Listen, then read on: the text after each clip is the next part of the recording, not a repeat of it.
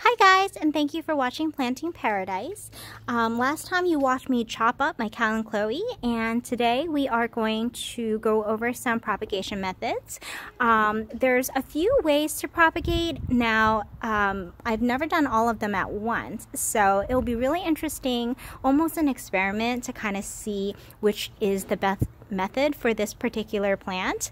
Um, so what we have here is some sphagnum moss that's just soaking in water. We're going to do a water propagation as well as a peat and perlite mixture here on the right.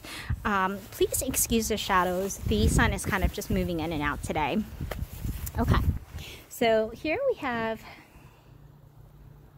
one of the cuttings. If you take a look there on the bottom, if you take a look at the bottom there, you see those little white lines. Those are actually aerial roots that were produced by the plant when it was still attached to the mother plant. Um, so generally for this type of plant that produces aerial roots, I like to use sphagnum but we're going to give all the methods a try today.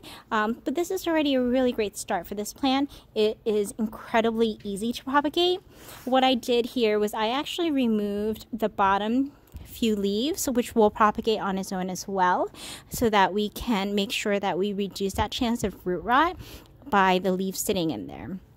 When I propagate by leaves, it takes a lot longer, and what I generally do is I just have the peat or um, soil in a shallow dish, which I'm not going to do today, and I just place it right on there. I don't bury it at all like I'm going to show you um, that I do with the stems.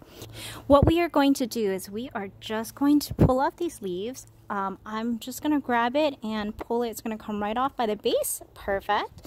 And because that base is mostly still there, you can kind of see where it attached to the stem. It's got that circular appearance that's where the new baby roots will come in. We're going to do that to all of these.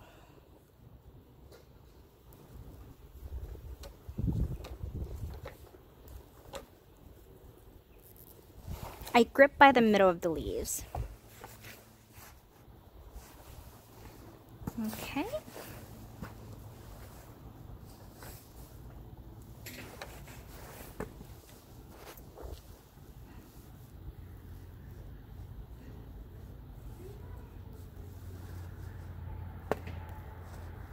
Now I would advise you not to wait too long to propagate these because some of these are getting a little bit soft so they're getting a little dehydrated.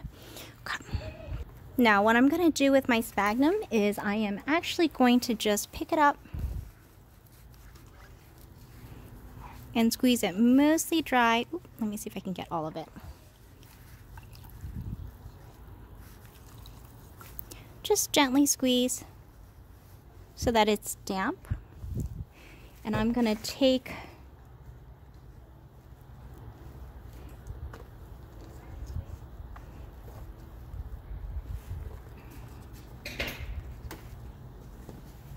I'm going to take my plant and I'm just going to wrap it in this sphagnum. I don't want to just stick it into the sphagnum because the sphagnum can actually detach the little baby aerial roots and kind of make things go backwards. We'll lose them. So I'm going to go ahead and stick it right in the cup here.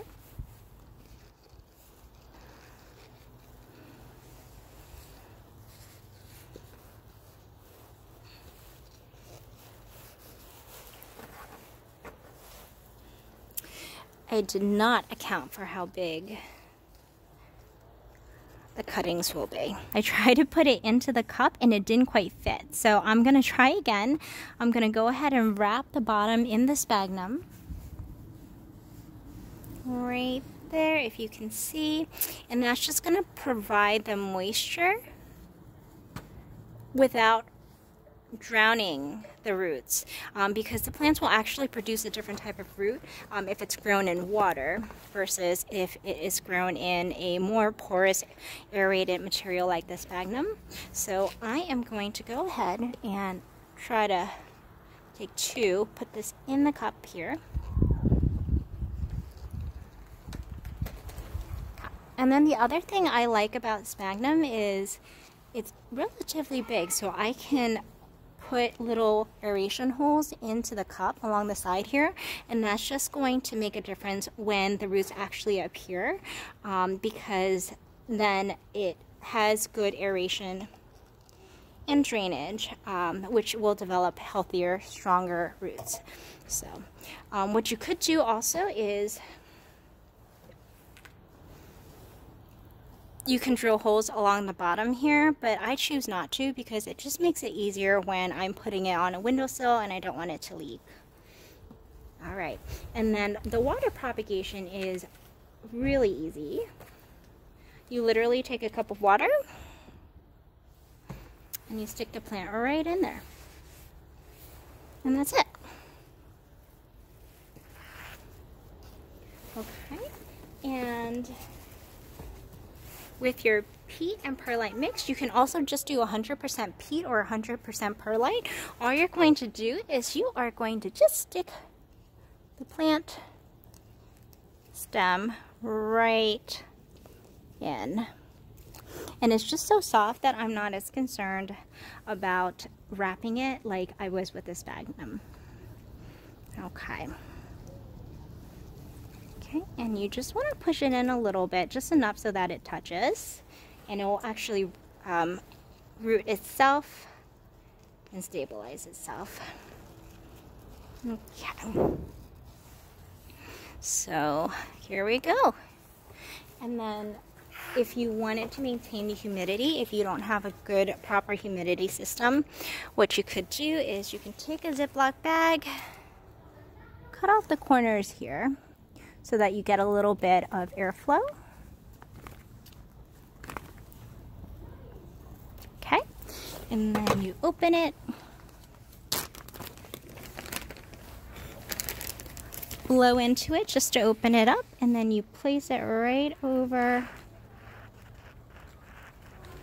the plant.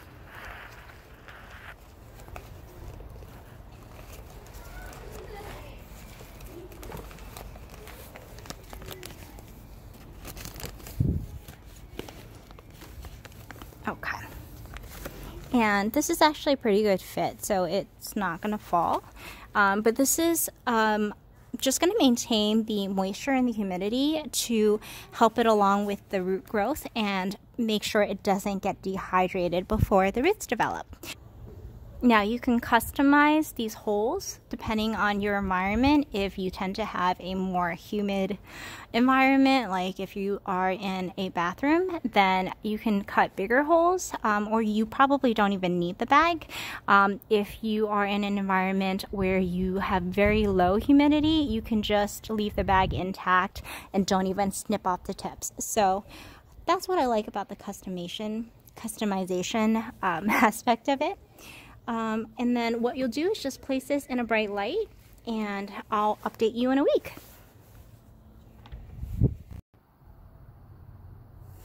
So it's been about 10 days or so. I checked it at seven days, but it wasn't as rooted as I'd hoped. So based on just a water cup. So I decided to just leave them in for a little bit longer so that we can take a look.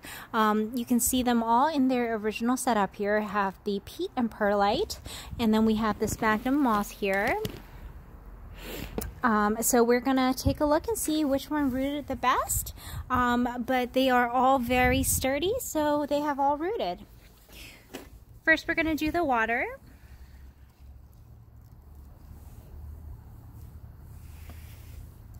Look at that, guys. Oop, let me just put this.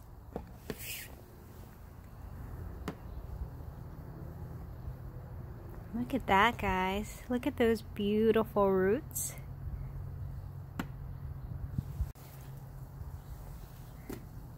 Sorry, dripping all over.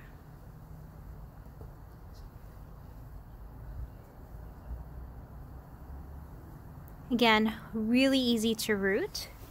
We're to put this back. Okay. I'm to do this sphagnum next.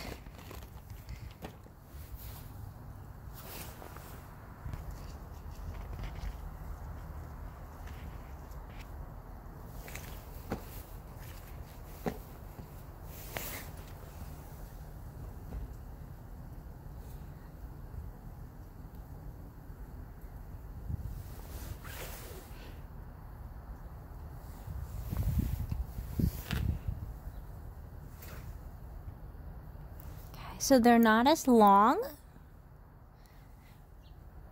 but there's more of them. And you can see that they're actually a little bit thicker than the ones that are rooted in water. These will actually transition much better to soil. It's not water roots, which means that they are used to more of the aeration and less of the moisture versus the ones that are rooted to water. But again, these just tend to be survivalists and they tend to do really well in all conditions. I'm to put this here.